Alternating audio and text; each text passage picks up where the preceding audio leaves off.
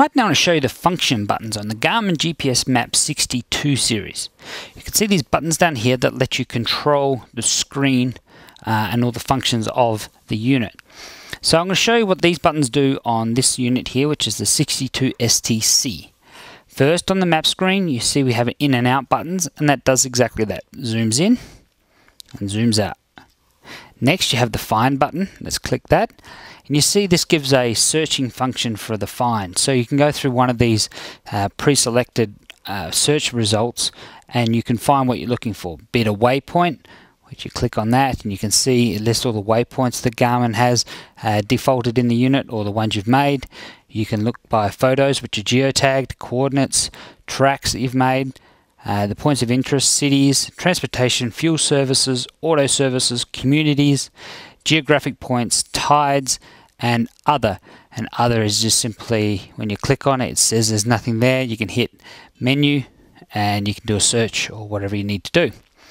You'll also notice in tides there, that's actually the nearest uh, ocean area to where you are. We're here in Las Vegas. So you hit enter on that, we'll just let it load.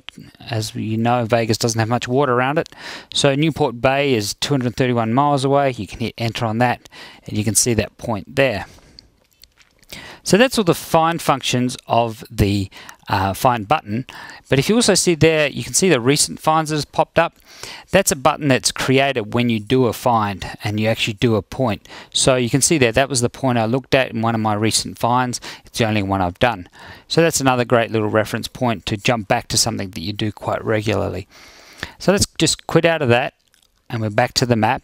Next is mark. That's marking a waypoint. At any moment you want to hit that button, it'll pop up this screen, no matter what screen you're on previous. You can see there it defaults the uh, numbers uh, to the next sequential numbers. It puts in a uh, icon image. You can add a note, location. You can change that uh, coordinates there by hitting enter and typing in new numbers.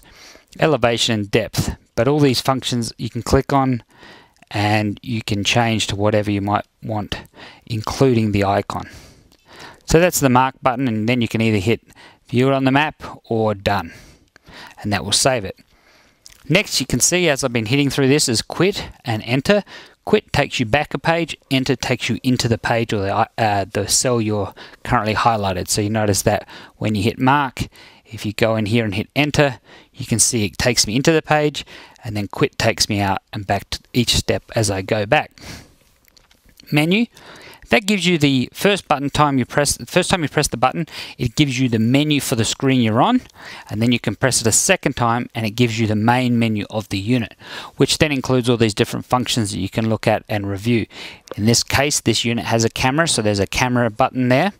Uh, you have photo viewer Route Planner, Waypoint Manager, Setup Track Manager, Active Route, Geocaches, Proximity Alarms, Sight and Go, Area Calculation, Share Wirelessly, Waypoint Averaging, Calendar, Sun and Moon, Profile Changes, Calculator, Hunt and Fish, Stopwatch, Alarm Clock, and Satellite.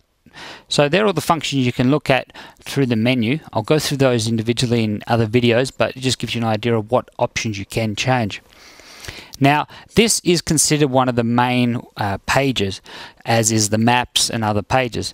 So if you hit quit on this, it actually pulls up the scroll bar.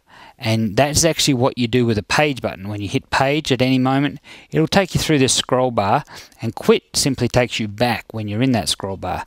So, as I mentioned before, when you're on a main page and you hit quit, it'll bring up the scroll bar. But when you're on a sub page, like the mark button, quit takes you back a page.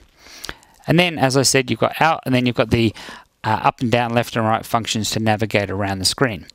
So that's basically the function navigation on the Garmin GPSMAP 62 series.